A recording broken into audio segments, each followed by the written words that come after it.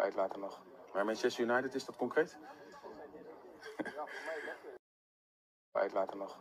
Maar Manchester United, is dat concreet? Look at that smile. There he is, Tyrell Malacia. How are you all doing, everyone? Sam here, United People's TV, with a different video today, all focusing on Tyrell Malacia, the 22-year-old final left-back who Manchester United have agreed a deal for. 15 million euros plus what looks like 2 million in add-on, 17 million overall. How good is he?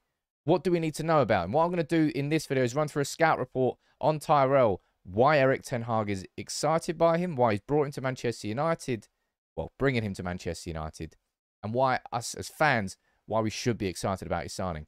If you do learn something by the end of it, please make sure you drop a like on the video. I've gone full Dutch here. We've got the Dutch man on the wall there. We've got the Dutch shirt there. And we've got the retro Dutch on here. Why not? We're going triple, quadruple Dutch. I don't know how many more Dutch are going to join, but looks like it's going to be Malacia. Looks like it's going to be De Jong as the first two. But let's run through. So, of course, you've seen this that's kind of flying around. This is a video of Ten Hag when uh, Ajax were playing Feyenoord. Look at that, the, the captions here, whether they're accurate or not. I don't actually particularly know. That kid at left back.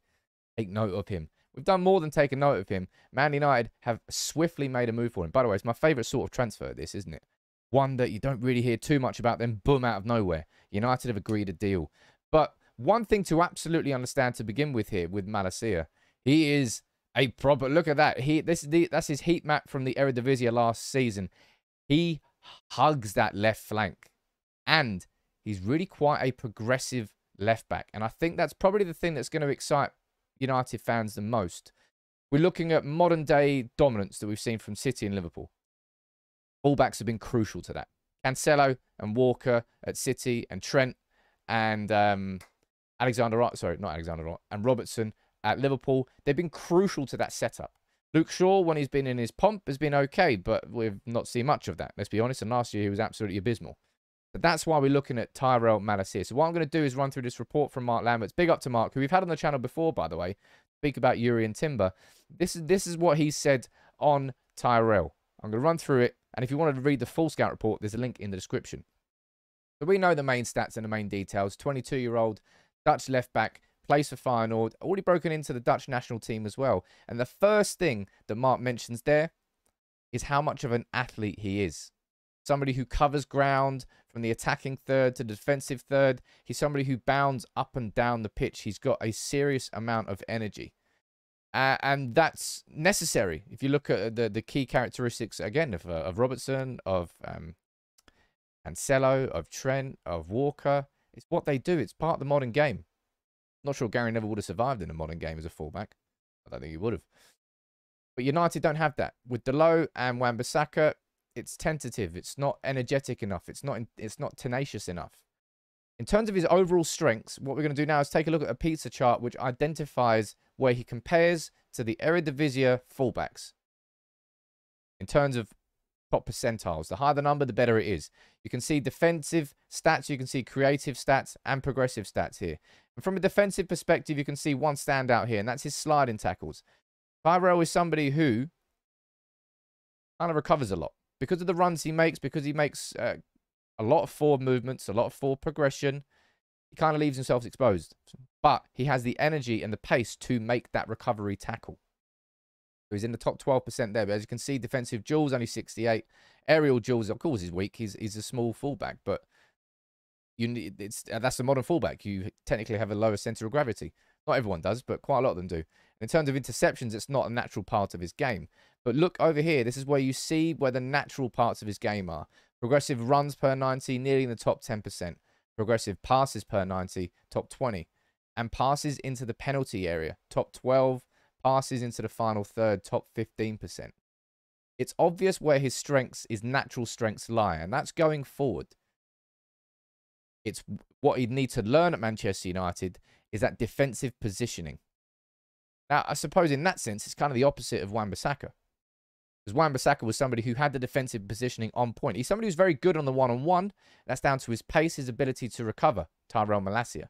Again, you can probably put that down to similarity to Wan-Bissaka, but he's certainly far, far better going forward. In terms of where he operates as a fullback, this, uh, this is sort of where his defensive actions take place.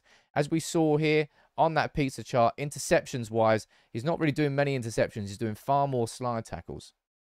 We go over here, as you can see, you can see his interceptions all in his own half. Tackles, and look at that. That's quite an important aspect here. He can win the ball high up the pitch as well. What we need to do full well under Erik Ten Hag is operate a higher press and a higher line. That's where Tyrell Malacia, in terms of the tackles, would fall into that. And ball recovery, naturally, he's going to recover the ball more in the left back position, almost like he is a left back. But in terms of progression, this is where I think he gets a bit exciting about Tyrell Malacia and where he's naturally very good at. This chart here shows the progressive passes per 90 and the progressive runs per 90. And look how high up he ranks here, right alongside Mazraoui. By the way, look at the anomaly. Go the whole way to the right-hand side. That's why Daley Blind was loved so much by Erik Ten Hag in terms of progressive passes per 90. Over 20 plus progressive passes per 90. That's insane. And in terms of Tyrell, you've got over 10 progressive passes per 90 and over two and a half progressive runs per 90. He's somebody who likes to bring the ball forward. He's somebody who likes to take the ball forward. He's a very progressive player. And that is something that's very, very exciting. By the way, I'm not just using uh, research here from uh, from Marc Lamberts. Big up to George as well for helping with the research here with all the numbers. Uh, but but Marc's visualizations here, big up to you, Marc. It helps us understand data a bit more. And it helps us understand the profiles of players. It's not going to give us the most detailed scout report, but it will help us understand what type of player he is. And I think that's what this video is really sort of helping you understand. These charts here, these are his key passing stats. And you can see here, expected assists, he's kind of in the middle. And maybe a little bit less than the middle. Well, maybe a bit over the middle, actually. In terms of expect, uh, in terms of actual assists per 90, he is actually quite low. So in terms of his final output and, and that turning into a goal, it's not as good. But maybe that's down to the poor strikers. Maybe that's going to change completely if he's bringing the ball into the box and Cristiano Ronaldo is waiting there. That's something to think for sure. He passes per 90. He does very well here. Just about 0.5 key passes per 90. Look at that. Ranks very highly over here for through passes per 90. About 1.3 th through balls per 90. Passes into the final third. Look, only four players in the Eredivisie rank ahead of him. Nearly seven into the final third. And passes into the penalty area, again, ranks very, very highly. It's definitely someone to really get excited about. Not just him, Frenkie de Jong as well, the Dutch Revolution beginning with Erik Ten Hag and going straight through into a couple of players that we are signing. But in terms of his natural strengths, he's a very progressive player. He's somebody who goes forward a lot, somebody who is an as as as Marc said in his uh, in the first few lines of his report here here, he is a top athlete. That's the key characteristic to understand here about Tyrell Malacia. He's somebody who will go forward and will come back and will go forward and will come back. And will do that for the full 90 minutes. It will go, offer a threat. It will create overlaps. It will create overloads. And that is something that we need to create space for whoever's operating as our two wingers. For sure. Fullbacks, modern day fullbacks really do create that space. So in terms of taking a look at the tactics chart, I mean, it's obvious. I mean, I don't need to tell you this, but he comes in for Luke Shaw. If he was to start. I do think that Luke Shaw will start the season as our main left back. As the season progresses, though, it might switch towards Malacia, depending on what he does and how and how he plays. But in terms of how he plays, he's really going to operate, I think, quite a lot in that area there. I reckon towards you can probably imagine his average position as the season progresses, probably probably being around about there. He's not going to be a, a left back that sits back in a deep back four and sort of waits in shape. He's somebody who will really want to bring the ball forward, make himself available, for that position, whether it's De Jong alongside him there or Fred, it doesn't really matter. But I'm very interested and excited to see what that can do to our left-hand side. Maybe he can really turn, and basically I would say that would be his main overall position. Really attacking down that left-hand side. If it's Sancho playing there, creating a good partnership with him, getting the overlaps to go down here, find the balls into the box. Defensively, that's I wouldn't say it's I mean, it's it's it's a weaker natural part of his game. As I said, if we go back to the pizza chart here, look at that, man, found it. You can see where he needs to improve, right? You can see where the natural aspects are to his game.